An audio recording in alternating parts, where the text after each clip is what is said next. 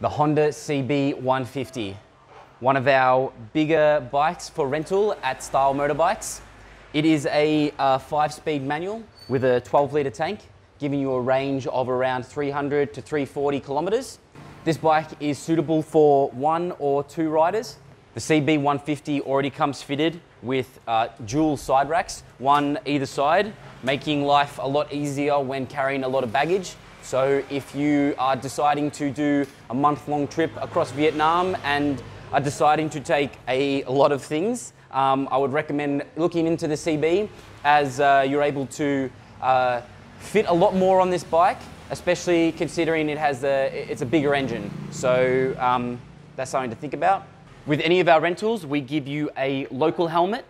If you're looking for something safer, uh, at any of our four stores, we have a wide range of uh, helmets to choose from, ranging in size and price.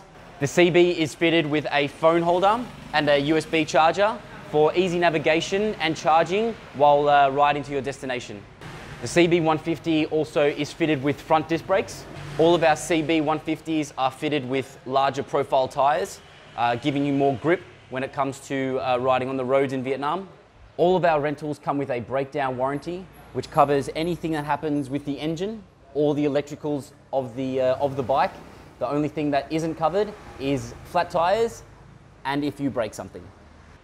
If reliability is one of your key factors in renting, I strongly recommend looking into the Honda CB uh, or any of our Honda bikes we uh, offer here at Style Motorbikes as um, they are uh, very, very reliable when it comes to riding across Vietnam on.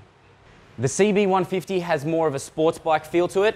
Um, it's a little bit lower to the ground and uh, it's, uh, it's 100% will do any of the roads in Vietnam. Um, but if you're looking to do more of an off-road uh, off-road kind of adventure, um, I would recommend looking into our Honda XR 150s. If you're looking for any more information on the CB150, please head over to stylemotorbikes.com uh, where you should be able to find uh, any more information on the CB or in uh, regards to any of the other bikes that we offer for rental. Um, if you don't, shoot us a message and we'll get back to you.